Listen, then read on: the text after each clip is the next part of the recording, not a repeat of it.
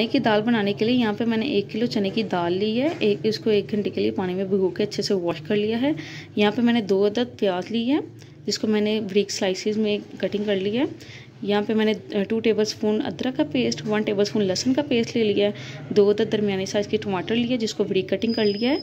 पाँच से छः अदद सब्ज़ मिर्च ली है। बाद हमने टू सर्विंग स्पून ऑयल लिया है। अब हम अपने मसालों की तरफ़ चलते हैं।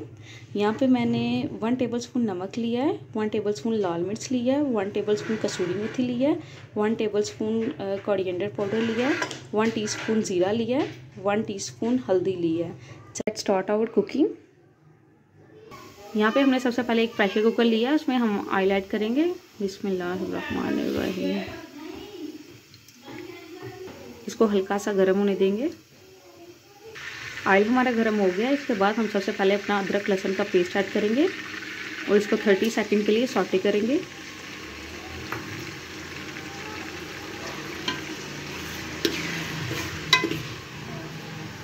जैसे ही इनका कलर चेंज होता है, हम बाकी चीज़ें ऐड करेंगे। अदरक लहसुन का पेस्ट हमारा हल्का सा गोल्डन हो गया है। अब हम इसमें अपना ज़ीरा ऐड करेंगे।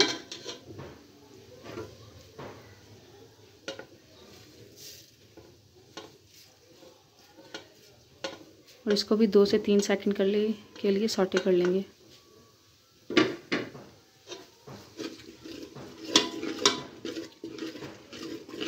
साथ ही हम अपना प्याज ऐड कर लेंगे और इसको भी हल्का सा गोल्डन कर लेंगे।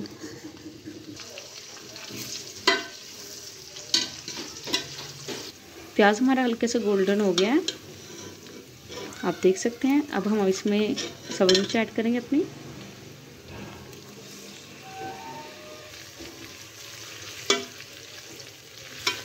अब हम इसमें अपने बाकी के मसाले भी ऐड कर लेंगे।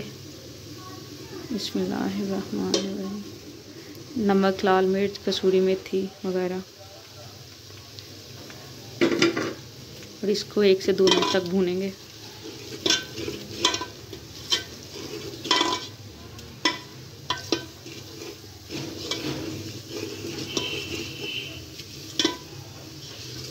अब हम इसमें अपने टमाटर ऐड कर लेंगे।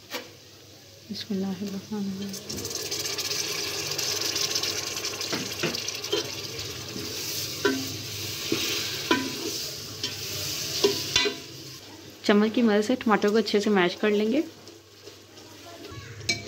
पाँच मिनट तक हमने अपने मसाले को अच्छे से भून लिया अब हम इसमें अपनी चने की दाल ऐड करेंगे।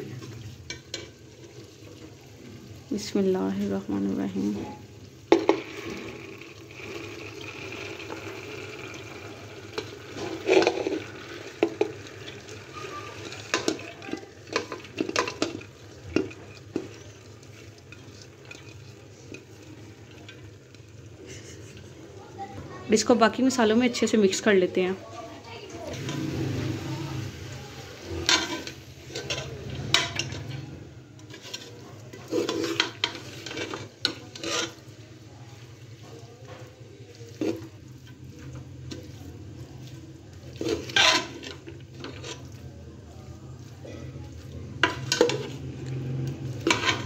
अब हम इसमें दो गिलास पानी ऐड करके सात से आठ मिनट का वेट लगा लेंगे।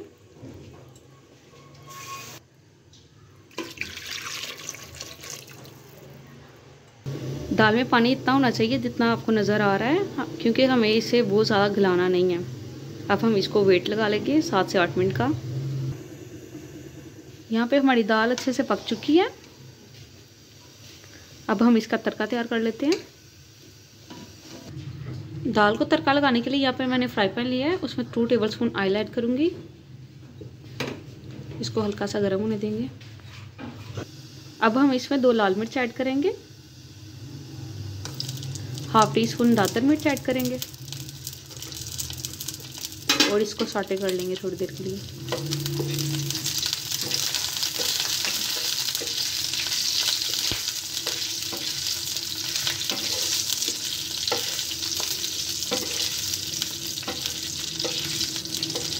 अब हम तड़के को चने की दाल में ऐड कर लेंगे।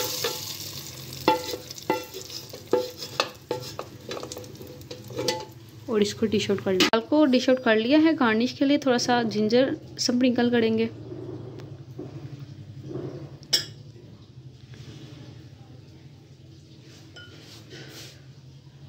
थोड़ी सी सब्ज मिर्च को स्प्रिंकल करेंगे।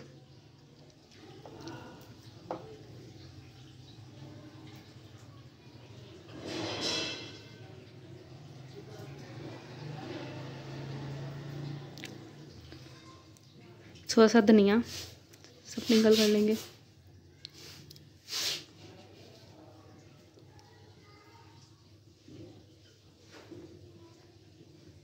हमारी ढाबा स्टाइल चने की दाल बिल्कुल तैयार है, आप इसको ज़रूर ट्राई कीजिएगा। होप्सो कोई आपको हमारी आज की वीडियो पसंद आई होगी। इसको लाइक एंड सब्सक्राइब करना ना भूलें।